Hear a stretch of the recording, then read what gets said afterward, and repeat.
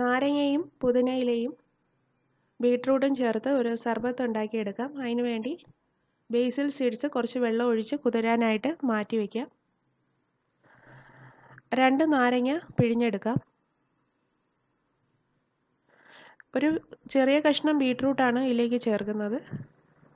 അതിന്റെ തൊലിയൊക്കെ മാറ്റിയതിന് ശേഷം ചെറിയൊരു റൗണ്ട് കട്ട് ചെയ്തെടുക്കാം. ഒരു പിടി പുതിനയില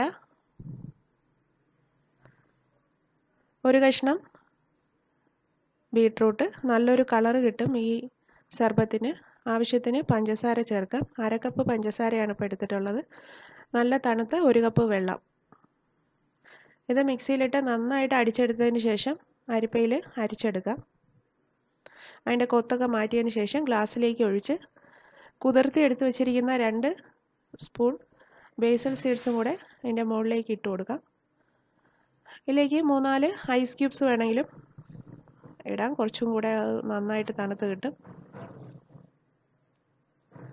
ബീട്രൂട്ടിന്റെ നല്ലൊരു കളറും നാരങ്ങയുടെയും പുതിനയുടെയും ഒക്കെ നല്ലൊരു ഫ്ലേവറായിട്ടുള്ള ഒരു സർബത്താണിത്.